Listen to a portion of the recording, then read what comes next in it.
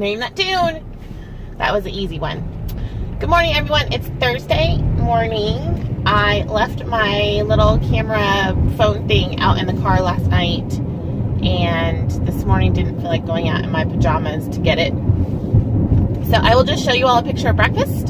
I had an extreme uh, wellness. I had an extreme wellness wrap for one smart point. I had three eggs for zero smart points.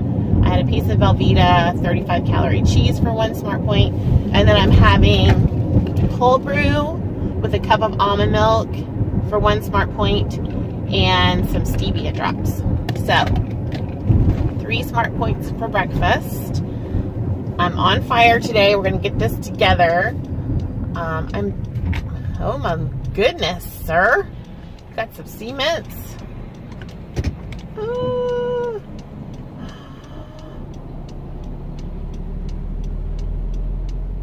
See that? Did you see that? Yeah. All right. Well, I had to back up a little bit because the big, big truck with big piece of cement was going to hit me. Um, what this guy's doing is driving really slow. This big truck. Yay for traffic. I, uh, yeah, so I'm having my cold brew this morning and I didn't put any sugar-free sweetener in it. I'm broken out. I'm hormonal.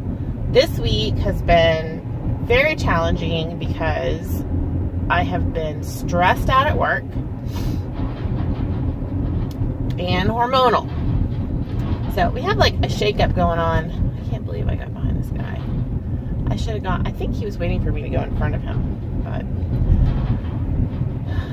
what was I going to tell you? Some sort of story. I can't remember what it was.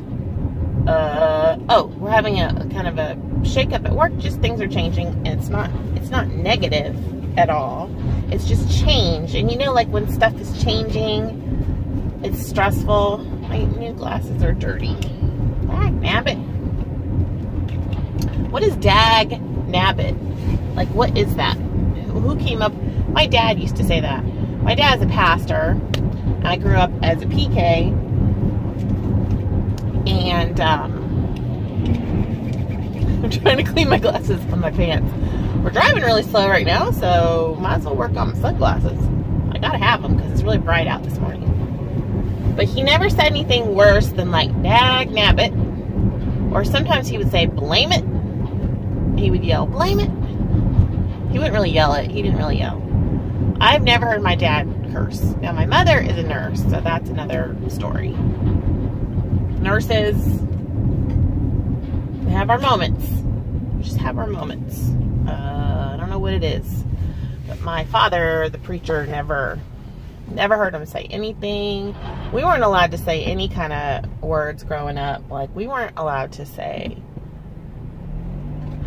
oh my gosh, because gosh was, you know, a substitution for taking the Lord's name in vain and stuff. So we, we grew up very, you know, conservatively and strictly and politely, yes ma'am, no ma'am, yes sir, no sir. So when I moved to New York, I remember one night I was sitting at the nurse's station and one of my friends uh, asked me to do something for her. You know, we would say stuff like, hey, could you go adjust my monitor? Like if you're charting on somebody else or whatever. And, or, hey, can you, whatever. You just ask a friend to, to do something. That's what you do in nursing work. It's very much teamwork oriented or you'll never make it. You'll never make it. And so, um, I, she asked me, hey, could you go adjust my monitor? I'm trying to do such and such. And I said, yes, ma'am. And I got up and I went and adjusted her patient's monitor and I came back and she was like, why'd you call me ma'am? And I was like, huh? She's like, she up north, they, it comes off as almost like disrespectful or, anyway, we had this whole conversation. Because that's what you do at 2 in the morning. You had a whole conversation about, you know, the way that we speak in this country and how different it is from culture to culture, person to person, and that you can say something and it can totally be like mistaken for something else. She thought I was being like snippety or like um, I don't know what it was. It was really funny though.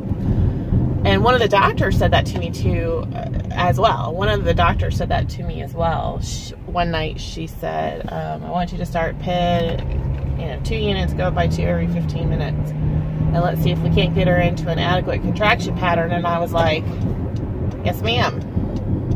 She just looked at me, and I couldn't figure out why she looked at me, but she thought I was being like disrespectful or some or something. It was weird weird, but I get it. And that's, you know, you do have to be somewhat sensitive. Uh, there's that balance. You know, we have freedom of speech, but then you always gotta take into consideration how you're coming off. I mean, the same thing is true in texts and emails and stuff. You just be really careful because you can sound like a jerkity jerk jerk. Um, oh, which reminds me. Okay, so on Monday I had the unit you know, I was running the whole show. And the front desk and I are close friends talk all the time. I mean, we're constantly, I'm like, constantly on the phone with them. Do this, do that. Can you do this? What about this? You know, and they're like constantly, hey, we have this question, whatever. So we call back, back and forth all day. And one, so my phone rang and we have caller ID and it said registration and so I had just talked to them about something. And it was to the point where I, it was like I was being bombarded with all kinds of stuff. And so I picked up the phone and I was like, what? You, what? Something like that. Just being, you know, casual with my friends. I learned a lesson and I hear it sounded like they had me on speakerphone, which is not abnormal. And the person on the other line was like, "Did so and so already come in?" And I was like, "Yes." You guys, really? We just talked about this. and there's like silence on the other end, and I was like, "Brenda." Who I thought it was, and the person on the other end was like, "No, this is Dr. Smith, not not her real name. One of my attendees, uh, like one of the people running the show in terms of the physicians." And I was like, "Oh my goodness!" I was like, "Dr. Smith, yes, so and so has already come in." And Dr. Smithette and I saw her, and Dr. Smithette was in the room, and Dr. Smithette goes, Hey, Amy, it's Dr. Smithette. Oh, yeah, Dr. Smith. Amy and I already saw so and so. And they're kind of laughing, but kind of not laughing. So I'm like, oh, so I hang up the phone and I go into Dr. Smith's office because she has her office, you know, down the hall. And I was like, hey, I'm so sorry. I was not trying to be disrespectful at all.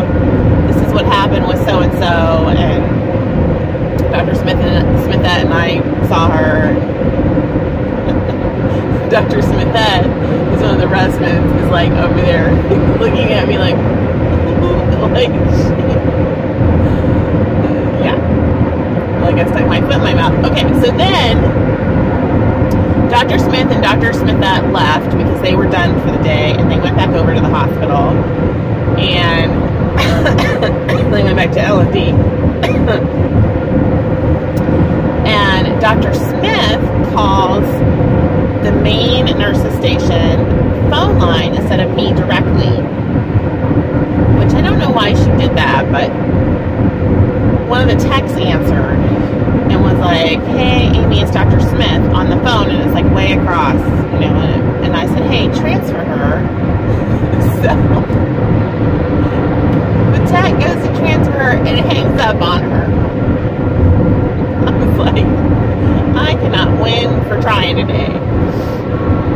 So then I try to call her back. Her phone's busy. I'm like, so she ends up texting me and she texts me what she was calling about. And I text her back, I'm like, I'm so sorry. that I hung up on you or that you were hung up on today because I didn't I didn't hang up on her, but I was like, it has been a Monday around here, and she wrote back, no worries, with like a smiley face. So yeah, that's that's been my life this week. So I have all that going on, and we have a lot of transition transitional stuff happening. And, like big question mark in the air. Um, I've had two lunch meetings this week where I've had to go to a meeting and eat lunch while I'm there, so I'm not able to film or take pictures. It's not appropriate. Can't have your cell phone out because I'm on the clock. Um, so yeah, I've been all over, and then we've had we've been working every night on Asher's final project, just helping him. Like last night, he needed to add color to the trifold, and so I was going through all my old scrapbook paper and cutting out, you know, stuff for him, and it's just been a lot. And in between all of that, I have been just sort of, I I used all my weeklies on the weekends, which remember, I'm not doing that anymore because it messes me up. Oh, my allergies.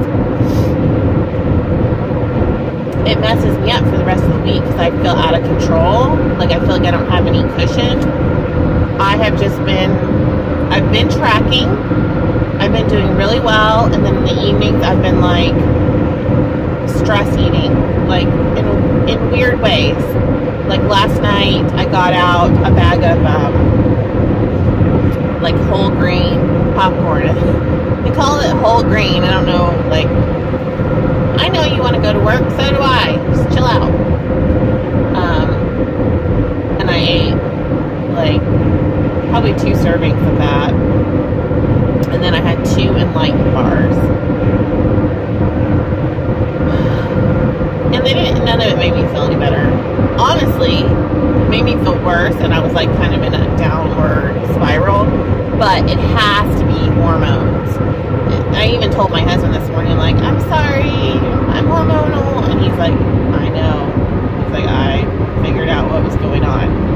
And I was like, have I been really bad? And he said, yeah, you just, I must, I just have really bad PMS, you guys, or something. Because I just have a really hard time for like about a week. And I won't if I'm up at the scale. I earned that between the weekend of graduation eating and then this week I'm just sort of like grazing, justifying, and not. Oh, I haven't been walking this week. Yeah, I'm just not. I'm not doing a great job this week. That's okay. I'm still on my journey and I'm still on my program. Last night, after I ate the two enlightened bars, I went and tried on a bunch of my like smaller size clothing. Just to remember that number one i got rid of my bigger sizes. Number two like i have a size large shirt right now a button up from the gap that buttons up. It's a little, little snug a little snug on the belly. But and i got out my you know those size 12 jeans from the gap that are i want to get into those this fall I do. I'm, I'm going to do it. So I just got things out, tried them on, tried to reset my brain. I'm trying to come back around on the circle of motivation. You know, you start high motivation, you circle around, you get to periods of low motivation, and if you hang on, you're going to circle back around. So I'm, I'm hanging on. I'm still tracking. I'm just not doing the best job. I haven't been drinking water. Like all my goals are sort of, not, I'm just not meeting them. But today is a new day. I started off great. I'm going to have a great day. I'm going to try to get my steps in today and drink my water and just, you know, keep going. This is a life, a lifetime thing for me. And there's no getting off of, program because there's no stopping life. And you know, I had a patient yesterday that was younger than me in really rough shape. And because of HIPAA, I can't go into it, obviously. But the surgeon very pointedly asked, You are so young. Why are you in the shape that you're in? And this person said, You know, my ancestors didn't eat well, and, you know, whatever. Sort of not, not taking full responsibility for their part in that. And I had to step back and think about how, how many times I have not taken responsibility for where I'm at, and I blamed it on heredity, or which there is that component. I'm not negating that at all. Or I blamed it on stress, or I blamed it on circumstance, or you know, whatever, whatever it is. I mean, I, I had a patient this week tell me that they don't have the money to eat healthy foods. And, you know, could they get a prescription on their Medicaid for vitamins? And that really stopped me in my tracks. Honestly, just sort of broke my heart because we have resources out there that can provide food for people in those situations, but it's not always the best. It's not like, you know, the foods are canned foods or foods high in sodium or high in fat or, you know, if you've ever donated to a food pantry, you know you're not donating a lot of like super healthy stuff. It's a lot of shelf stable stuff and it's hard to get those people like you know good quality lean meats and fresh produce and you know and i'm talking about those people as in people that are not able to afford those things which could be any one of us at any time because you guys have seen the stories of people that are you know homeless and they had these great jobs and now they're homeless and can't afford anything and so the government can only do so much and you know private charities and those sort of things. I work in a charity environment. I don't know if you guys knew that, but um, we have resources, but our resources are limited. We're always looking for new resources. It's difficult. So just taking responsibility and, you know, even those situations, even though I see that type of stuff on a daily basis, do I, do I think about it and actively change my own life? No. I go home and I eat half a bag of popcorn and two Enlightened bars. And those Enlightened bars are $4 a box. So there is a, you know, that is something that I need to work on in my own life.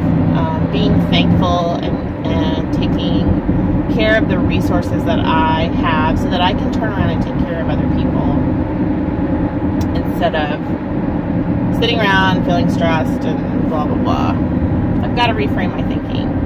And God is constantly showing me, I believe, He's constantly show, reflecting back the areas that I need to work on in the eyes of other people and sometimes I just re- I refuse to sort of look in the mirror you know what I'm saying? Like I refu- I don't look at myself clearly and I'm in delusion.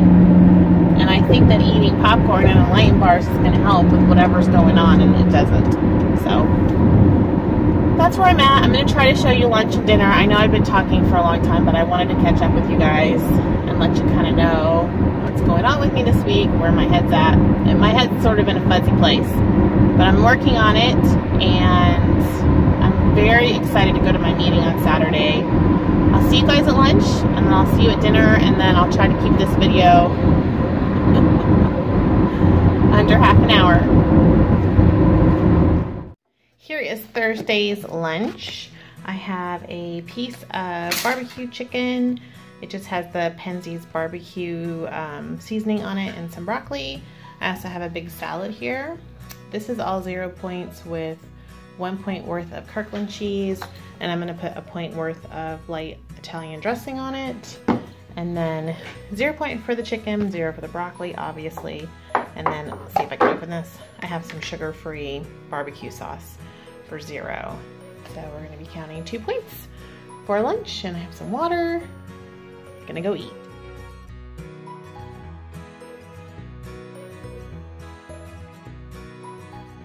Oh. Hello. Hello. We are at Applebee's Ash, we are celebrating Asher. We're just gonna celebrate him for the whole month.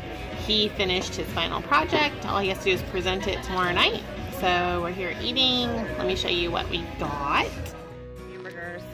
Hamburgers. You know, every So time Asher has the I don't. I just a lot of meat, basically. meat burger, and onion and these guys over here got Other burgers. other burgers. Judah, how many points left do you have for today to Uh, eat? 26. He's got 26, so he's eating a cheeseburger with blow fries. He's this. blowing them all on his meal. And then this three. one, he has three points, and he's eating three points worth of hamburger. He always has three points, and he eats three points. Then I have 19 points, and I got the Chinese chicken salad, but I got grilled chicken and the dressing on the side. So I'll count points for whatever they put on the chicken. And then I've got some little fried wontons and some almonds in here. So, and water. So we're having fun. Hey everybody, I'm sitting here with Judah. We're Hello. home from Applebee's. And I just thought maybe you guys would want to hear a little update from him. How's it going? Mm, What's going on? This is week, we're almost done with week two for you. We're close. We ended on Saturday. Um, For Weight Watchers. Why is it so dark? it's the light in the background. Oh. So what do you think? So far, so good. I'm enjoying it. I've been very active, trying to balance the, the food and the activity. Um, trying to get my step goal in every day. I've gotten my blue dot five days in a row, um, Yeah. which I'm happy about. So what so what are the positives and what are sort of the difficulties? Positives, there's more structure. I feel very disciplined, kind of on top of things, so that's a good feeling. Yeah. Negatives, it's a little tedious sometimes having to record everything. Um, and if you're like hungry and you want to eat something and then it's like, oh, too many points, that can be a little discouraging. Yeah. Uh, but that's okay. But are you are do you feel like you're feeling better overall? I feel like I'm making progress towards something that I didn't really realize was there before. Um, so I can I can feel the improvements. It feels like it's actually mattering. You're getting a lot of support. I'm getting a lot of support too. So that helps. Yeah, definitely. And then it seems like you're kind of in a pattern where you eat lower during the day and then you have something you really want for dinner. Our meals tend to be a little bit point heavy, so I'll eat something pretty light for lunch. Maybe have a snack in the afternoon and then spend most of my points at dinner. Yeah. All right. Just thought we would check in um, since Judah is on his second week and you're planning on weighing in on Saturday, Saturday, mhm. morning We'll see on the happens. Tanita scale, and we'll update you guys then as to how he's doing. Week two. Fingers crossed. He's doing so great, and thanks all, uh, thanks for supporting him. It means a lot. I know to have. He knows a lot of people are rooting for him. Yeah, so it helps a lot. Hey everybody, so I'm gonna close out the vlog.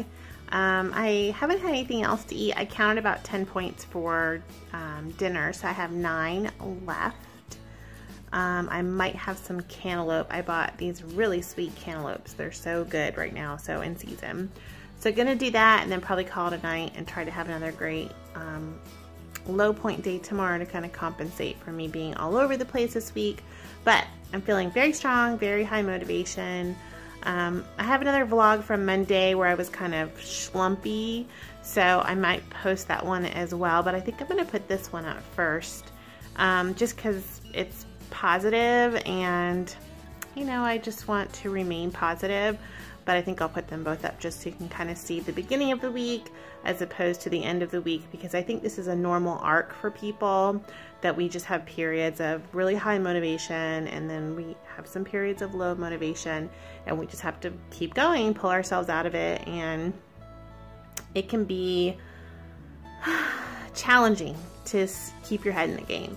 So um, just know that I am in this struggle with you guys and I really appreciate your continued support and patience with me. Um, you know, I won't always be able to put up daily vlogs, but I do try to get on here and put up as much as I can.